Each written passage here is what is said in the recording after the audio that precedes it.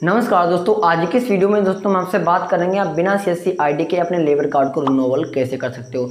ये दोस्तों, अब लेबर कार्ड रिनोवल करने का तरीका है वो चेंज हो चुका है। अभी तक तो जो लेबर कार्ड रिनोवल होता था, वो आप एक साल के लिए रिनोवल कर पाते थे, वो भी बिल्कुल फ्री होता था। लेकिन दोस्तों, अब यहाँ पर फ़ीस कटने लगी और आप लेबर कार्ड एक से तीन साल तक का आप लेबर कार्ड रिन्यू कर सकते हो।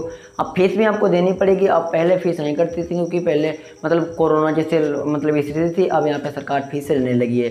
तो मैं आपको पूरा प्रूफ के साथ दिखाने वाले हैं कि अब आपको लेबर कार्ड को रिनोवल कैसे करना है, कैसे फ़ीस काटना है, अब आपको सी एस की कोई भी ज़रूरत नहीं। चलिए, शुरू करते हैं डिटेल में आपको समझाते हैं। दोस्तों, जब आप लेबर कार्ड को रिन्यू करोगे, जब भी आपको आर्थिक सहायता में जो भी सरकार लाभ देगी, वो भी मिलेगा। और सभी योजनाओं का लाभ ले सकते हो आप सभी को पता होगा। चलिए, शुरू करते हैं। दोस्तों, सबसे पहले आपको अपने मोबाइल के किसी गूगल ब्राउज़र को ओपन कर लेना है। और ओपन करने के बाद दोस्तों यहाँ पर आपको सर्च करना पड़ेगा U P B O C W dot in जैसे आप इतना सर्च करोगे, सर्च करने के बाद आप लेबर कार्ड के ऑफिशियल वेबसाइट पर पहुँच जाओगे। यहाँ से आप लेबर कार्ड को नोवल कर सकते हो। उसके बाद यहाँ पर आपको दोस्तों एक ऑप्शन मिल जाएगा मतलब श्रमिक का के बटन पर क्लिक करना। नीचे ऑप्शन मिल जाएगा, नवीकरण की स्थिति यहाँ पर क्लिक करना है। क्लिक करने के बाद यहाँ पर आपके सामने इस प्रकार पे आ जाएगा। यहाँ पर आपको दोस्तों अपनी पंजीकरण संख्या को डाल लेना होगा। पंजीकरण संख्या आपके लेबर कार्ड के फ़ोटो के ऊपर आपको मिल जाएगी। उसके बाद यहाँ पर आपको नीचे सर्च का एक बटन मिल जाएगा, यहाँ पर क्लिक करना पड़ेगा। क्लिक करने के बाद यहाँ पर आपके सामने नीचे के लिए स्क्रॉल करना पड़ेगा, यहाँ पर आपके श्रमिक की जो विवरण डिटेल होगी वो आ जाएगी। उसके बाद यहाँ पे आपका कब तक का लेबर कार्ड रिन्यू है वो आ जाएगा, देखिए अगले दिन यहाँ पे दिखा दी जाएगी। उसके बाद यहाँ पे आपको न्यू लेबर कार्ड को रिनोवल करने के लिए, देखिए इनका जो एक्सपायर हो चुका है, मुझे अब रिनोवल करना है। रिनोवल करने के लिए दोस्तों यहाँ पर आपको एक ऑप्शन मिल जाएगा, नवीकरण जमा करना, यहाँ पर क्लिक करना पड़ेगा। जैसे आप यहाँ पर क्लिक करोगे, उसके बाद यहाँ पर आपके सामने फिर से अगला स्टेप यहाँ पे खुल के आ जाएगा। अगर आपका दोस्तों रिनोवल मतलब एक्सपायर हो चुका है, जब भी रिनोवल यहाँ से होगा, अंत यहाँ पर दिखा दिया जाएगा कि आपका लेबर कार्ड मतलब पहले से रिनोवल है। उसके बाद यहाँ पर आपको देखिए, इस प्रकार पे आ जाएगा यहाँ पर। थोड़ा आपको यहाँ पे मोबाइल नंबर वगैरह दिखा दिएगा चार अंक आधार कार्ड संख्या दिखा दी जाएगी, और भी डिटेल सब कुछ मिल जाएगी यहाँ पे। उसके बाद नबी कार्ड की अवधि चुने। यहाँ पर आपको क्लिक करना पड़ेगा। पहले यहाँ पे क्लिक नहीं होता था क्योंकि यहाँ पे एक ही साल के लिए हम रिनोवल कर पाते थे। लेकिन अब यहाँ पे सरकार ने तीन साल के लिए ऑप्शन दे दिए हैं। अब यही एक जो भी अपडेट है। तो यहाँ पर आपको एक साल के लिए करना है तो पहले पे या तो इस पे या तो इस पे अगर चाहें तो आप जितना के साल के लिए कर सकते हो। उसके बाद यहाँ पे आपको मतलब सिलेक्ट करोगे तो एक बार पेज रिलोड होगा। उसके बाद यहाँ पर आपको नीचे दोस्तों एक ऑप्शन देखे ऊपर मिल जाएगा नवीकरण जमा करें इस नवीकरण जमा पर क्लिक करना पड़ेगा। क्लिक करने के बाद यहाँ पर आपके सामने फिर से एक नेक्स्ट पेज खुल के आ जाए यहाँ पर दोस्तों आपको बीस रुपये पेमेंट दिखाया जा रहा है क्योंकि यहाँ पर आपको फ़ीस देनी पड़ेगी। मैंने आपको पहले बता दिया। पहले डायरेक्टली यहाँ से मतलब रिनोवल आपका हो जाता था बिना फ़ीस दिए। अब फ़ीस कटने लगी। एक साल के लिए बीस रुपये दो साल के लिए करोगे तो यहाँ पे फिर से फ़ीस दिखा दिएगी तीन साल के लिए कर दोगे तो फिर भी यहाँ पे फ़ीस आ जाएगी। तो यहाँ पर आपको फ़ीस कैसे कटाना है? फ़ीस कटाने के लिए आप डेबिट कार्ड से कटा इंटरनेट बैंकिंग से कटा सकते हो यू पी आई पे जैसे चाहे वैसे आप पेमेंट कटा सकते हो। चलिए आप डेबिट कार्ड सेलेक्ट कर लेते हैं।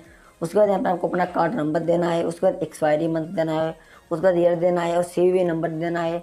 उसके बाद यहाँ पर आपको अपना कार्ड होल्डर नेम जो भी कार्ड पे नाम है वो देना है, उसके बाद मेक पेमेंट पे दोस्तों क्लिक करना है। उसके बाद दोस्तों इस प्रकार पे आ जाएगा यहाँ पे, देखिए ट्रांजेक्शन अमाउंट है, इतना जीएसटी लगेगा, वो भी दिखा दिया जाएगा। उसके बाद प्रोसेस विद पेमेंट पे फिर से क्लिक करना उसके बाद दोस्तों यहाँ पर आपके रजिस्टर मोबाइल नंबर ओ को भेजा जाएगा, जो भी आपका बैंक से मोबाइल नंबर लिंक होगा वो यहाँ पे दिखा दिया जाएगा। उसके बाद यहाँ पे आपको अपना ओटीपी आएगा ओ को अपने बैंक की तरफ़ से आएगा, उस ओटीपी को यहाँ पे डाल लेना होगा। उसके बाद सबमिट कर देना होगा। अगर एक बार ओ नहीं आता तो रिसेंट पे क्लिक करके दोबारा मंगा सकते हो। और उसके बाद दोस्तों यहाँ पर आपके सामने एक इस प्रकार पे आ जाएगा, यहाँ पे लिखा आ जाएगा कि आपके नवीकरण सफलतापूर्वक जमा की गई है। तो यहाँ पर जैसे आप फ़ीस कटाओगे, आपका यहाँ पे लेबर कार्ड है वो रिनोवल हो जाएगा। जो आप सिले मिल जाएगी, सिर्फ़ को प्रिंट भी कर सकते हो, यहाँ से लेबर कार्ड की जो है, जमा करने का जो है, यहाँ पे पेज भी आ जाएगा। तो इस प्रकार से लेबर कार्ड मतलब जमा कर सकते हो। आप चेक कैसे करना है, जमा हुआ है नहीं हुआ है, इसके लिए फिर से होम पेज पे चलना है। चेक करने के लिए दोस्तों, सबसे पहले आपको फिर से मुख पृष्ठ पे आ जाना है और उसके बाद यहाँ पर आपको फिर से भाई सिंपल सा प्रोसीजर यहाँ पर आपको सबमिट के बटन पर क्लिक करना है नवीकरण की स्थिति पर क्लिक करना है।